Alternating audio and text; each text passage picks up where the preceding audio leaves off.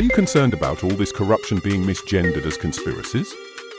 Well, don't you worry. Sit back, relax, and join in the conversation as we talk with today's guest.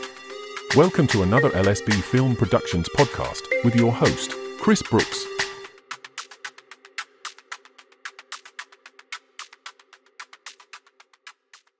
Hello and welcome to the channel. It's me, Kris Brooks, for another LSB Film podcast. Uh, today I've got Ian Drew with me, and we're just going to have a quick update on what's been going on with Colchester Council and the splendid efforts that um, the girls from Colchester Council Watch have been up to, along with a planned event for later on in April. So, welcome to the channel. Hello. Thanks for inviting me on. You're more than welcome. Mainly, I'm um, representing the Essex Residents Association. We, we've formed this group to to campaign on the various issues that are affecting us all in our daily lives. Uh, and yes, the um, we've been working with the girls from the Colchester Council Watch, and they're doing a grand job. Um, I have made a couple of speeches at the Colchester Council. Um, my approach is perhaps a little more robust than theirs, but they've been chipping away at things and having some good progress. So they're, they're currently working on this 5G issue where they've uncovered the fact that there are fraudulent safety certificates being used on planning applications. And uh, this is the thing that um, Nicholas Martin was on a podcast with me about. Not oh right, Nick, you know Nicholas, yeah, yeah, yeah. Correct, yeah. splendid fella. So he, he's guiding me a bit on on how to approach this. Um, we've got um, a lady, Lara, in Southend. I don't know if you've spoken to her at any time. I haven't spoken to Lara. Well, she's got a list of six, 18, I think, um, fraudulent certificates that have been used in Southend. So, and I think there's four in Colchester. I've uncovered three in Braintree, and there's probably going to be a lot more around the county. So, and am I right in thinking that these are fraudulent because these are companies that don't actually exist? Yeah, all of these have been done by Three UK, and it was dissolved in 2015. So this is what we're. Yeah, I know. Shake your head and laugh. It, it is unbelievable the things that they'll do. I just don't know how they get away with it. Um, well, money talks, doesn't it? Let's be honest. All, all, these councils are corrupt. It's coming out more and more. Um, Absolutely, yeah. You know, from from the work that Sandy Adams did, initially with Glastonbury, um, which has spread, and, and now with what um, Rachel and Karina are doing in Colchester, which has really taken off. Yeah, they've done really well. I, yeah, I can see their it. channels growing as well, so that's really good. yeah, that's it. Yeah, and also with with what um, I'm doing with the National Residents Association, we've got groups all over the country from from Scotland, Wales, the Midlands, everywhere around the country. We, we get together on a Tuesday night, and there's usually fifteen or sixteen of us on the on the meeting, um, talking about what they're doing. People are doing this all over the country now. It's really good. To, it's really nice to see that there's people now uniting and locking yeah, their heads together to come up with solutions. Because yeah. absolutely, that's, that's, that's where we need yeah, to go. Yeah, that's what we need. Yeah.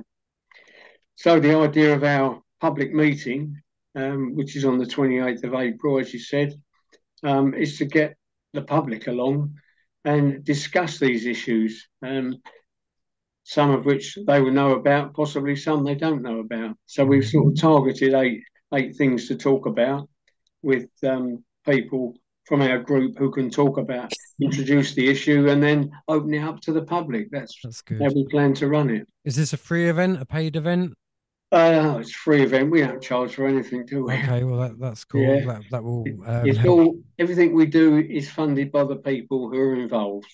Okay. Um, well, hats and, off to everyone involved. Yeah, and, and, we have done a little bit of uh, fundraising with some boot sales um, up until the winter break, which will probably be starting again when the weather gets better. Yeah. And it all helps raise money for buying leaflets and stuff that you know we're always doing. No, absolutely. So, what what speakers have you got lined um, up? Well, speakers. Uh, I'm one of them. Oh, are you? yeah. And what's got... your what's your subject? Uh, well, I'm going to introduce it, the meeting, and talk about 5G and Right, what, okay. what I've been doing on that. Um, we've, as I say, we've got a guy, Jimmy from um, BY Security Services in Clacton. Um, hopefully, we've got a, a, special guest, but I can't confirm that yet, so I'm not going to mention any names. And is is the special guest relating to five G? And now this this will be generally possibly talking about immigration more, Right. Okay. um, which is another subject that because we- Mark Steele would be probably quite a good.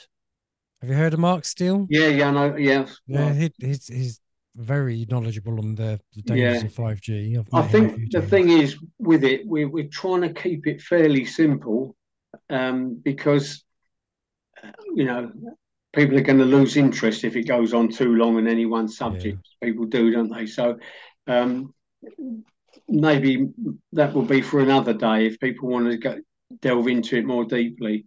We've also got Ian Jarvis. I think You've probably spoken to him, have you? I haven't spoken to him, but I'm familiar with the name. Yeah, he, he he's from Birmingham. and I've been to a couple of his meetings and also on his Zoom meetings on a Wednesday night. So he's very active in the 5G sector. Um, and yeah, so hopefully, if the meeting goes well, we'll have another meeting and and be able to expand it from from what we've been doing. No, that's really good. So where um, it being held? This meeting? Yeah, it's in the village hall, um, Plough Corner, Harwich Road, Little Clacton. Um, the postcode um, CO169ND. Um, and we've got posters going up everywhere advertising it. I've put it on Facebook and we're getting it on every bit of social media that we can. That's good. Well, if you send me the uh, uh, a link or a copy of the poster, I will put it on my community page as well on- on YouTube. Okay, yeah, we'll do that. Um, we've recently, as the Essex Residents Association, been supporting a guy in Clacton, Chris Mallett, who's an ex-soldier, who's been sleeping out seven nights last week to highlight the, the plight of ex-soldiers. Hmm. Um, we've done a little video with him. I can send that to you as well if you like. Yeah, by all means. yeah. Um, and uh, yeah, we're just um, went and had a chat with him, see what he's doing, what, and uh, how he's promoting what he's doing, raising money for charity, and, and trying to help generally with with the um, ex-soldiers who are out on the street. It's there, it's done. So they, you know what I mean? Just Yeah, one less thing, bits, yeah. yeah, one less thing. Are you So doing anything directly to other veterans with charity stuff? this what we're doing. No, what we're doing this for? What we'll do? Funds will be used for. go- go- Basically, go to Primark and go buy thirty tracksuits. Yeah. Oh, keep them warm. Keep more Good man. tents. You know what I mean? You get a tent for a tenner out of the Yeah. range. Yeah. Right. You know what I mean? Go get thirty of them. Yeah. Give, them, give them away. You know what I mean? The little, little rubber rubber thing, the metal whatever it is. Give it to them. So Things, things like that. It's not a lot, but it does make a difference. The, the church that's over there, the Methodist Church, Trinity Methodist Church, I volunteered there when I first came to move, move to Clacton.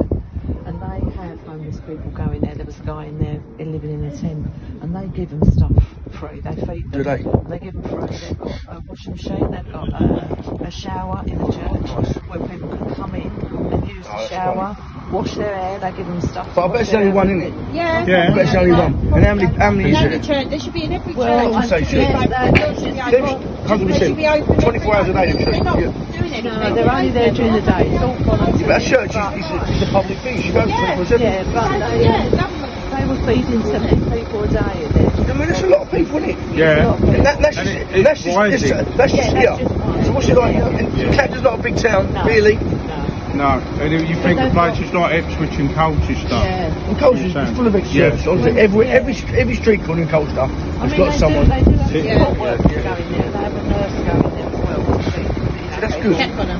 To check on them. It's good. Sure. So one nurse is looking after so many people. Yeah. Well, You know, um, but you know, Some of them that wanna in, in theory, you know what I mean? Yeah. Yeah, it is, yeah. And they're probably volunteers. Yeah, um, yeah, they get paid for it. People that have been there Listen, volunteers. someone's get- getting the money, it's going somewhere, Exactly. and it ain't going out here, is it? No, No. no, it's not. You know what I mean? Chris, can I ask you, you're still filming, Jeff, ain't you? You've been here all your life, ain't you? You're proud of Clacton, you I love, love it, right? You I've been love here it, right? for 51 years, I've been here for What do you think, what the future holds for this town, Chris? Be This, honest. I said, you, Yeah. in five years, this won't be here. Right. This will all be flats. Yeah, I'm telling you now.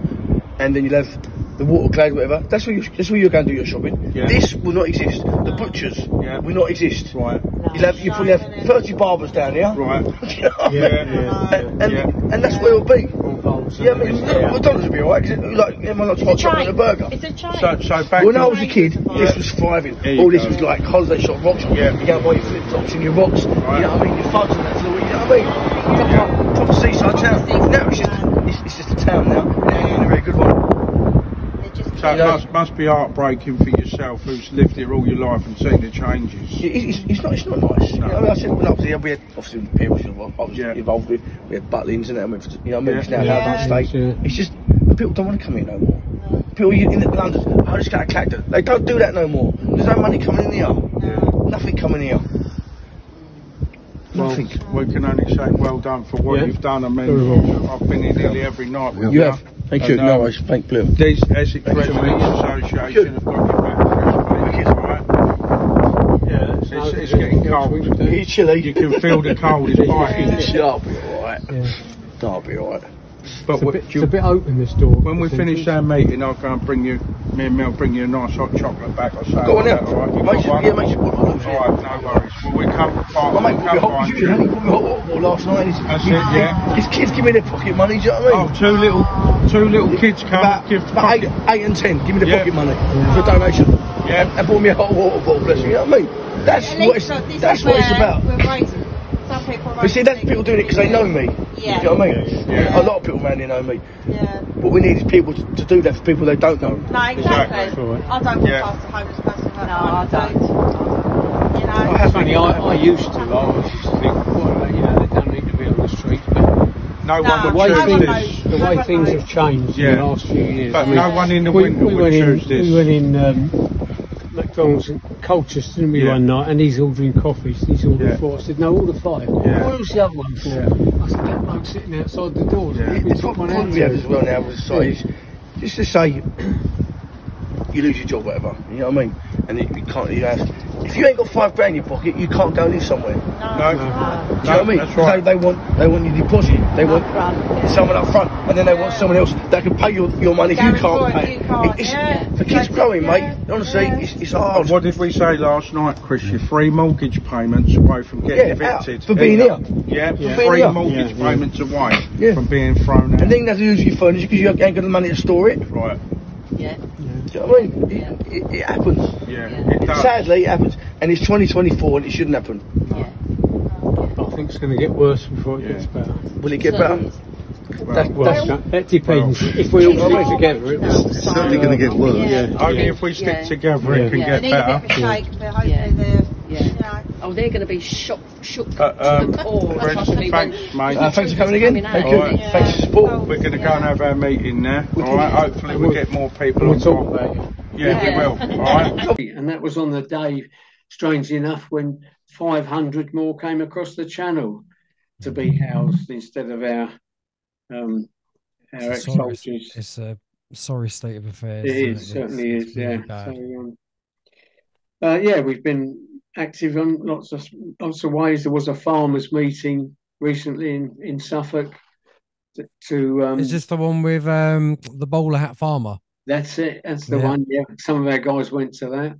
Um, and today there is a, a protest in London taking place where they're meeting midday at Covent Garden um, Is this all the tractors? with their tractors. Yeah, Oh, see, I'd, I would have loved to have gone there just so I could have got some footage from riding Yeah. the tractor. That would have been amazing. yeah. Well, one of their guys is there. Hopefully, he's going to get some footage. Uh, Okay, cool. Well. Yeah, Yeah. by all means. I'd He was going there today.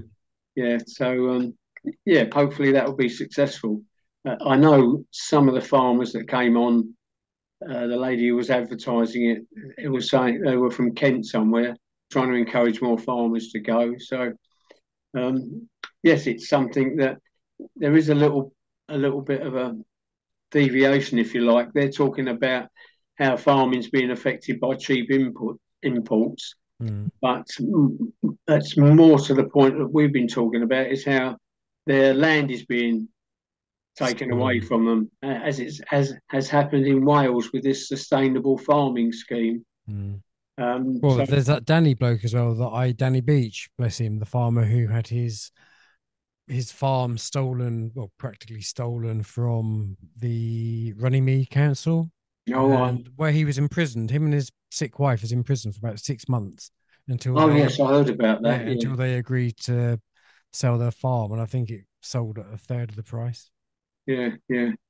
Uh, and obviously they're trying to get a lot of farm, farmers to do this rewilding, so crops aren't being grown. And uh, you know, there's lots of of comments about the weather situation at the moment, how it's being controlled and ruining the the harvest for this summer. Um, these are all things that we, you know, hopefully we'll be discussing with the public to make people aware of what's going on. No, that's good. Are you finding you're getting quite a lot of public support when you're doing out Yeah. doing your yellow boards? Yeah, we do. Yeah, we've uh, it's certainly um, turned around big time in the last few years. From when we started it, we were getting so much abuse from the Mm. public, but we do a regular spot outside the Colchester police station on a Tuesday, Do you? and um, they all know us there. The police um, don't bother to come out, although they see us when they're driving past, and they all wave to us now. So Do they? So you've got quite a good reputation. Well, yeah, a quite good relationship with the police then. we have, yeah, in Colchester especially, yeah, yeah. Okay, So that's good. um, when we do the yellow bridge, uh, the blue bridge, I should say, over the A12, uh, they always come and uh, and visit us there, saying that someone's reported people standing on a bridge or climbing on a bridge, but they know what they know us, so they don't call Yeah. give us any grief. Well, that's good. Um, That's so matters. Yeah, everything we do around Colchester, especially, um, they support us on. So. We, That's we really just, good. You know, it, it just shows how things have turned around. What about the council though? Are they? Because at one point you'd kind of, with all the talks and meetings that you'd been doing in the uh, council chamber, what was it? Something like thirteen of the councillors had sided with you. With Yeah, there are there are more coming round. Yeah, are. surely. Yeah, um, and, and especially with um, they one of the councillors has now promised to have a public meeting if he gets re-elected um, in May. Um, but you know they've said that that before and nothing has actually happened. So we'll we'll see if he he stands by what he said. You're just a bit concerned that that might just be like a sales pitch to get him elected. Well, it, it's a bit like all the other things that I mean. It's it's um, political talk, isn't it? They know how to, how to get out of things, so Yeah. and never answer a question properly. So uh, yeah, that's what we're up against. But we, you know, we've just got to keep on battling on. That's right. Keep persevering and just keep fighting the fight. Yeah, And, and at least you are getting like the people, the public, more and more on your side, which obviously not only is that beneficial, it must be also a bit of a confidence boost as well that Yeah, what you're doing is making an effort, uh, is Yeah. making a difference. Sorry. yeah, yeah. I've been stalking the police and fire crime commissioner, as he as he says, um, where we've been reporting things to him at the meetings that they hold. Um, initially, it was because we um, two of our guys were attacked by a member of the public, or two members of the public, um, outside Sainsbury's in Colchester. Um, we tried to report the crime, but nothing's happened on that. Uh, and so when I went to one of the um, the uh, commission meetings, I reported it, and the and this was in Colchester. Chief Inspector Cox spoke to us after the meeting, took all the details, and uh, and that's just gone quiet. So I reminded them at the next Police and Fire Crime Commission meeting I went to at Chelmsford um, of that fact and of another incident that happened in Clacton where one of our a 62 year old lady was attacked by the public, and also the fact that we've been um, measured Attacked by who? by a member of the public outside of school. Oh, really? Yeah. Um, all the police came, details were taken, but nothing's happened about that. So that was another one I reminded them about.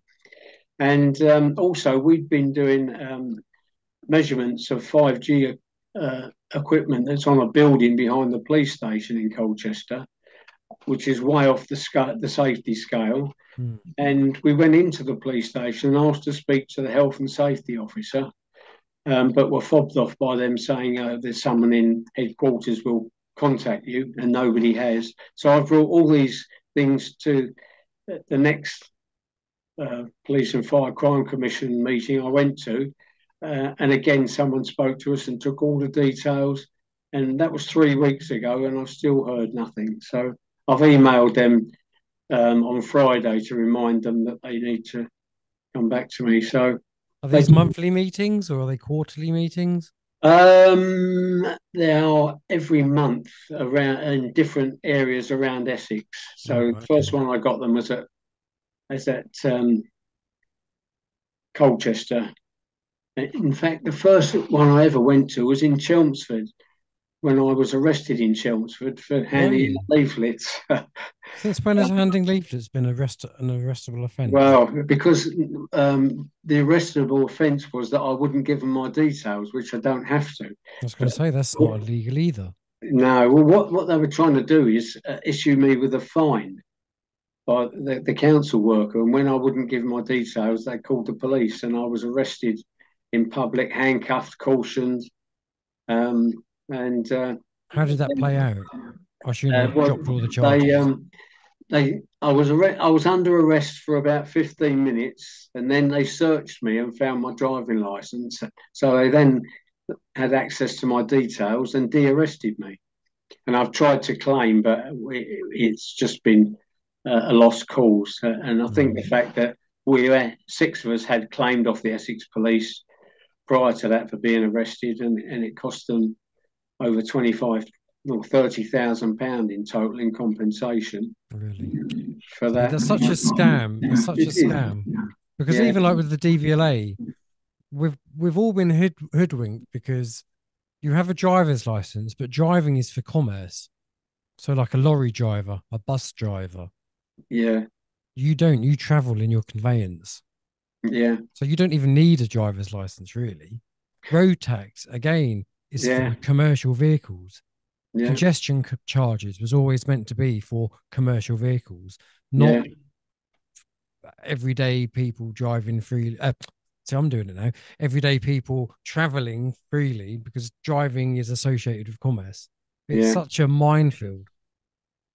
But I'm slowly Yeah, getting is. there. Uh, even to the point where um you don't even own your car, do you? You're the No, you're the registered keeper keeper. Yeah. Well, I've I've been doing all my affidavits to the DVLA, and I've corrected my errors there. Um, I'm in the process of doing my bank now, and then Oh, I'm going to work through every government department, from the police to the courts to the NHS. Because if you don't do the NHS, they'll just they'll take you down the route of oh you're a loony, yeah, and then try and section you. So you're just covering your bases all the time, and then and only then can you then challenge the system. So that's what I've been concentrating on for the last. month and it's so time consuming, isn't it? Oh, it's very time consuming Yeah, and you've got to be so careful with how you word these things because just the slightest mishap you've then gone into their world of yeah, jurisdiction by using certain words like driving or mister apparently mister Yeah. is like the lowest form of title that you can have all right. male and female is associated to with animals you're either masculine or feminine so i'm learning so much but when you fill in their forms Yeah, you're putting Mr. such and such and such, even down to the postcode. You, do, you Yeah. shouldn't need the postcode. It's all all their world. It's such a like you say, it takes so Mm. much effort and time to get your head around. It's untrue. It really is untrue. But getting there slowly, getting there slowly. Yeah, we are. Yeah. So, are you still in communication with the National Residents Association? I assume you. I am, yes, and Yeah. I just just see my phone was ringing from them. Oh, was it? He was ringing me, yeah. Um, yes, uh, daily contact we have, um, and uh, yeah, we're all the stuff that I'm doing and the other other areas are doing. We we we get that together, and so everybody can see what everyone's doing, just to encourage people to do more. Really, No. any that's good. successes that we have, we try and share around so we know um, to encourage others. There's lots of new groups starting up. There's one just just started up in Dartford, I think, uh, Residents Association there, um, and Cassie you spoke to Cassie, I believe, from the Yeah, I haven't heard from her for a while. She's Oh. she's she's uh blank. Well, she's not blanking me. I just haven't heard from her for a while, but I assume she must be rather busy. Yeah, she's she's just spent the weekend in Scotland with a group up there. Oh, has she? Yeah, uh, so um, they've got a few different issues with their councils, but um, you know, some of the Same issues, kind fine. to what we're dealing with here, or yeah, I think it's to do. Uh, I can't remember exactly what it was. Something that their local councils are, are pushing on people. So, um, yeah, they were.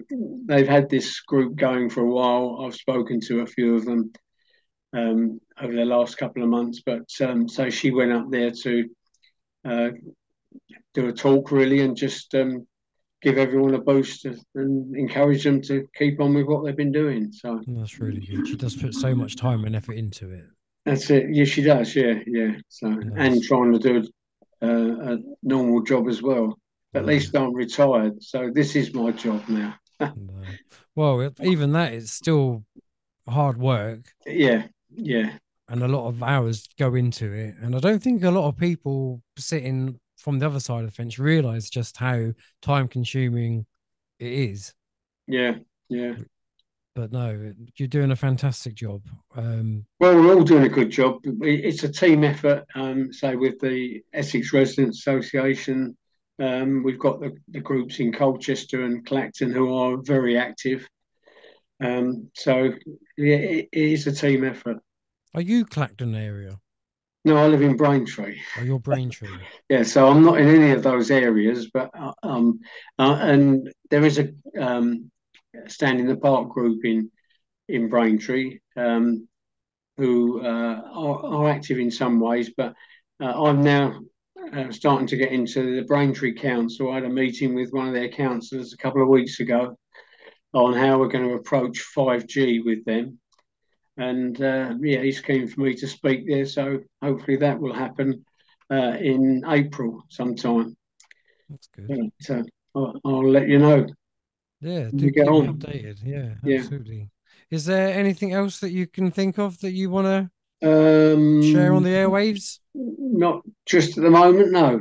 This is a, a focus at the moment, taking up a lot of time, get this meeting organised, and then and then we can um, just carry on with our day to day um protesting, if you like, if you want to call it that. I call it raising awareness. Yeah, I think that we sounds moved on from from a protest now, so Yeah, um, no, that that makes sense. Well, yeah, listen, I wish you all the best for it. Like I said, if you send me your poster, I will display that on my YouTube community page. Okay. And I might even use it as a thumbnail for this podcast. okay. Uh, so yeah, well, listen, all the best. Thank you. Thank Thanks you for for coming on. No, my pleasure as always. And yeah, keep me updated. Will do. All right, nice one. Look Thanks, after yourself. Yeah, All the best, mate. Take care Yeah. now. Yeah, bye. Bye.